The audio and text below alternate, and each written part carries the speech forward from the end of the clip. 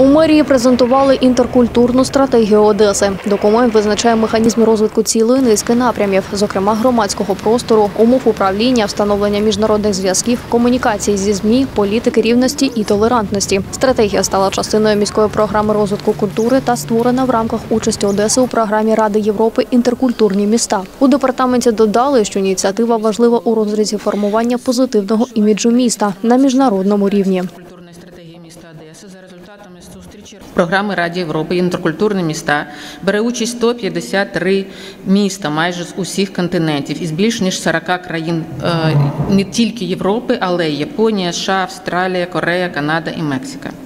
В рамках програми створено п'ять національних мереж в Італії, Іспанії, Норвегії, Португалії та Україні.